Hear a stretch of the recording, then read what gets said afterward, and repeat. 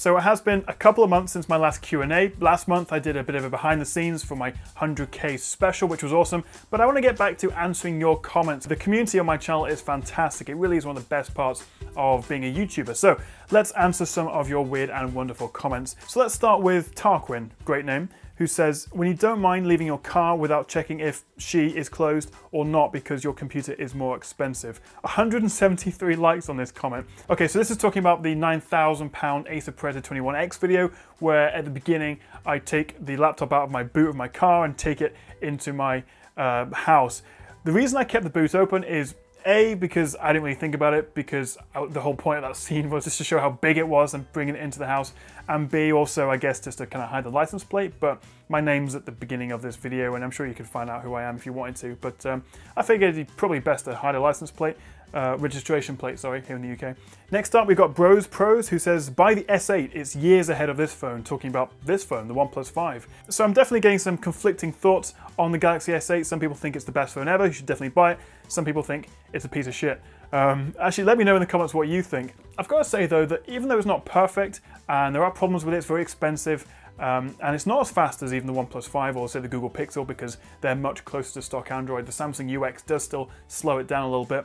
I think the combination of the design, the fantastic camera, the fact that it is obviously super powerful, I really do think as an all-rounder, it is pretty much the best phone on the market. Right now, I hope it will be uh, superseded by the Google Pixel 2. I think the OnePlus 5, considering it's like 200 quid cheaper, is much better value option, uh, which I'm actually using now as my main phone every day.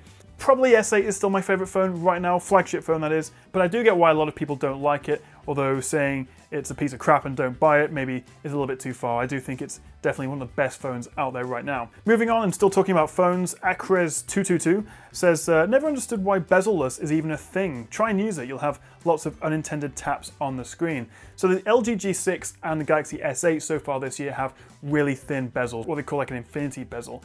And actually, this year I found that neither phone have any issue with like palm rejection where you accidentally touch uh, the screen with your fingers or your palm on the side of the phone. The S7 Edge did last year quite badly. My brother bought one and almost regretted it because as he held it, it would just sort of touch and scroll down and light it up and things, and it was really annoying.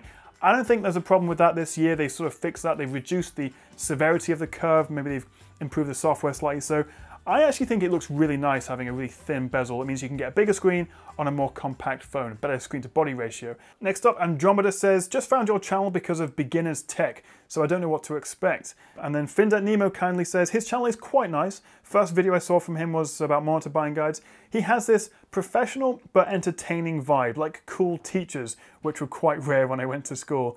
I'm like a cool teacher, that's, um, is that, I think that's good. Thank you, uh, Findet. Andromeda, I hope you enjoy the channel. Hopefully you're watching this. I did a little uh, giveaway with Beginners Tech and also Zotac to uh, give away a GTX 1080 graphics card, which is still open until the end of July. I think it closes 2nd of August. I'll leave a link in the description as well if you still want to enter that. Now this is quite interesting because uh, Nabal FX19 here says, I beg you, again about the uh, 1080 giveaway. I don't have any say in who wins, nor does uh, Ryan from Beginners Tech. It's we use um, something called Gleam.io. It's like an automated competition website, and it will randomly select one of the entries. I've got, had quite a few Twitter messages and comments saying, "Oh, you know, I've loved your channel since the beginning. A 1080 would change my life. Um, I can't afford a 1080." Also, people who seem to have no money whatsoever, but obviously somehow have a pre-built computer with everything but a 1080. You know, so I don't know. But the point is, neither of us can have any impact, which is great because it means there's no preferential treatment, but it also means sucking up to us and saying how awesome we are, unfortunately, isn't going to work as much as we like it because we can't change it at all. The next comment comes from Abhinav Ajith, who says, My Air 2 is more than powerful enough for me, although four speakers and a 120Hz panel would be nice. It's true, the problem with tablets and iPads especially is that they're all so good, there's not really a big reason to upgrade. The new iPad Pro 10.5, which I recently reviewed, is a nice little step up, especially that 120 hertz uh, screen, which makes it feel much faster just swiping between home screens and opening apps, things like that. I really do hope we see more high refresh panels on phones and tablets going forward. But if you already have an Air 2, there's not a whole lot of reason to upgrade. Yeah, the screen's a little bit nicer, the four speakers are nice, and of course, like on the new 10.5 and new 12.9, um, the 120 hertz panel. But while the new ones may be a tiny bit faster, the screen may be a little bit nicer, They all play the same apps, they all do fundamentally the same thing, which is why the entry-level iPad, which is like £329 or something on the Apple Store, is such a great buy because it's like half the price of the Pros. Yeah, it misses out on some of the extra features like pen support and smart accessories and bits and pieces like that, but for most people who just want a tablet, an iPad to watch Netflix and browse the web and put photos on, that'll do. So yeah, I think Apple and other tablet manufacturers are struggling really just to convince people to upgrade because their current tech is so good already. Now moving on to something a little bit more controversial because uh, BoSim here says, I respect you getting that money with a paid ad, but TalkTalk is terrible.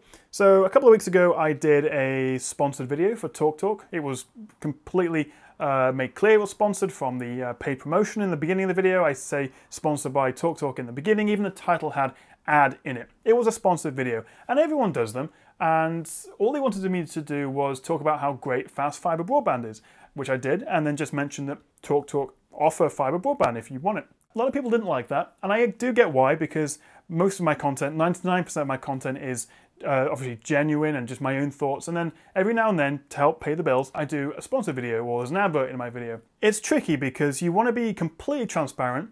There are a lot of YouTubers out there who do sponsor content, who do uh, get paid to review things that don't disclose it, which is against the YouTube terms of service, but I don't know if that would ever be enforced on.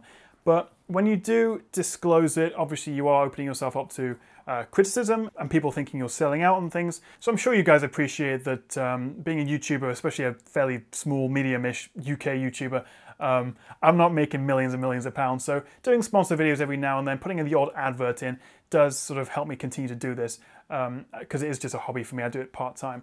So I do appreciate your patience when I do sponsor content. I always, always make sure it's declared, it's mentioned in the description, it's in the video, it's in the title. You will, you will know if it's a sponsored video.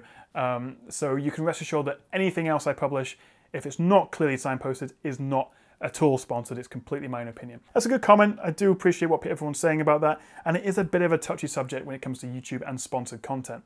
Oh, here we go, another one. Talk Talk has been added to HDMI and monitor. Cheers, Tom. Well, thanks, Bruce. I guess that's uh, one more thing I can't say properly. We've got HDMI, monitor. I say monitor, Marta.